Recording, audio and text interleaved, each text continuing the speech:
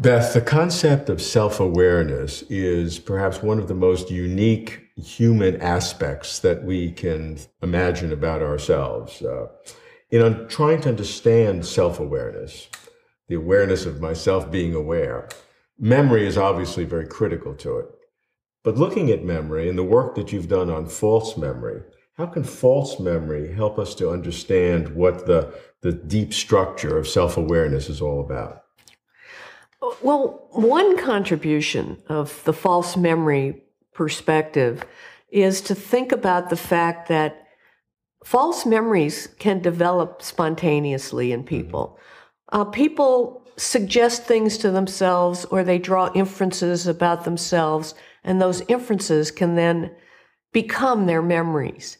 This happens spontaneously, uh, um, I would argue, in the absence of any external suggestion, we just do it to ourselves. And so you see experiments, experimental findings that, that show that we, we remember that we got better grades than we really did in school. We remember that we voted in elections that we didn't really vote in. Uh, we remember that our kids walked and talked at an earlier age than they really did. Um, we remember that we contributed more to a joint project than than we really did.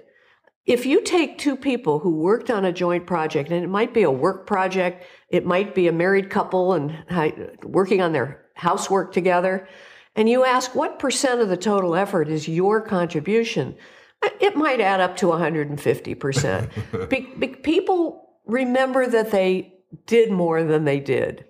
So what does this do for us? This allows us to feel a little bit better about ourselves. Um, it deprives us of, of accurate self awareness, but it, it may have a benefit. The benefit being we can feel better about ourselves. Does that, um, what does that say about human beings in, in general? Does that make us, uh, does it have to do with the competition that we have with each other? Is, is, is it a competitive factor or, or is it even just an isolated personal factor? Are we uh, competing with ourselves or competing with others? Uh, no, there are a lot of reasons why. Take one example that you might remember that you contributed more to a joint effort. You're, you're paying more attention to your own contribution. Right, uh, right. You're you're focusing on it more, and so you use that greater attention, greater focus to pr- provide your estimate of how much did I do. Um, so it's not it's not something that I'm I'm I'm deliberately trying to promote myself. It's what I really genuinely feel. I think people who overinflate their their contribution to a joint effort do do really believe in in what they're saying. Uh, and I think this is an important thing for people to know about because you can you can use this finding to f- make yourself be less resentful or hmm. of other people who don't seem to you to be uh, pulling their weight. Hmm. So if if if you say, "Gee, I think I'm doing seventy percent of the work around the house," uh, and your partner's probably saying, "I think I'm doing seventy percent," Well, maybe you want to make a little bit of adjustment in your estimate so that you can feel less frustrated about the the joint contributions. Let's look at this self awareness um, as a um, as a prime attribute of human beings. Uh, what, are the constituents of that, and how does the feeling better about yourself um, uh, uh, go to build that self-awareness? Uh, what are the components of that self-awareness that that this would therefore be an important factor in? Uh, well, when we went, I think people probably like to think of themselves in a positive way. I mean, assuming people are not depressed, clinically depressed. Many people want to think of themselves in a positive way, and uh, sometimes it, it involves trying to remember good things about you and, and focus on those good things. But at other times, it may be that you exaggerate or distort um, aspects of the truth in order to achieve that that goal. I mean, one can make up an evolutionary uh, psychology scenario that those people have greater sense of self awareness and self importance will be the ones more likely to pass on their genes and be more popular with the opposite sex. I mean, one can go through that type of analysis. You think that's justified? Oh, I'm not sure because I, I think of uh, even very intelligent, accomplished people can have moments in which they lack self awareness, I, I, I, guess is a way to put it. I'm, I'm, I'm, thinking of an example right now of Hillary Clinton, uh, our Secretary of State. And when she was running for the Democratic nomination for the presidency, she told personal stories about how she had landed in Bosnia under sniper fire and how they had to, you know, uh, escape from the sniper fire and run to the uh, run to their base. And it turned out she obviously wasn't alone on the trip she had taken 12 years earlier to Bosnia. Other people were there. Some of them were taking pictures. and there are pictures of this very, very peaceful greeting ceremony where children were bringing her flowers and so on. So, how is it that this highly intelligent, educated woman could remember such a, an event that obviously didn't happen. And obviously, she didn't uh, know she was not telling the truth because she, she wouldn't have exposed herself to such ridicule.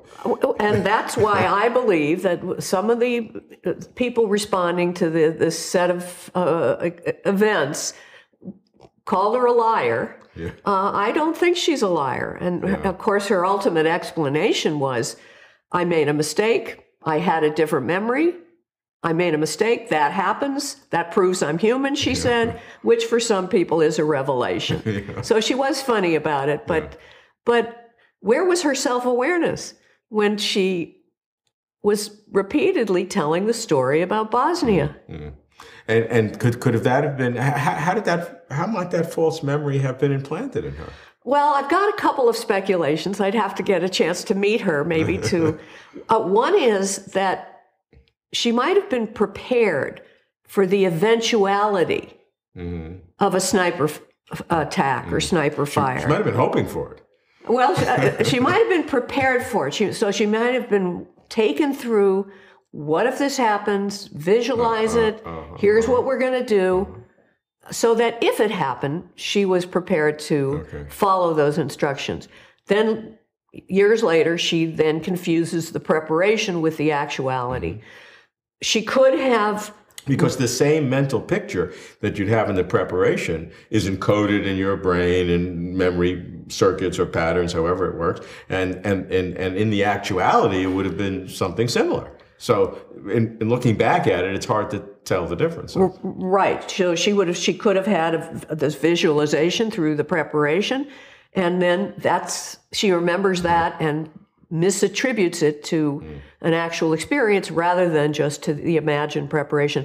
Now that's just a speculation at this point. She could have read about somebody else's experience mm. landing in Bosnia under sniper fire uh, and had that sense of familiarity about it and attributed it to her own experience. Mm-hmm. Because we do pick up stories from other people and, and get when, confused. And, and when she told it, it and if it were true, it would have been self-enhancing.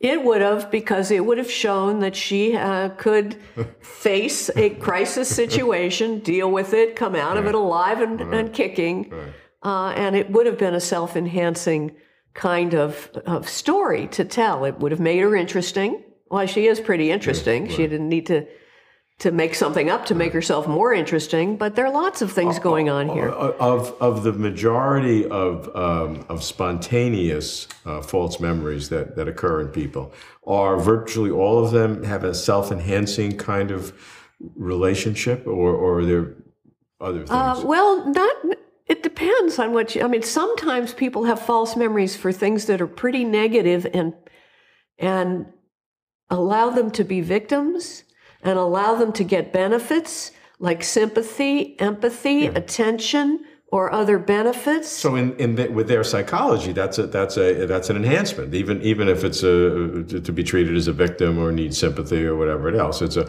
it's for whatever your personality is, it's a self enhancing. In, in in that sense, it it, it it gets you a it gets you a benefit. Yeah, it gets you a benefit. It gets you a benefit.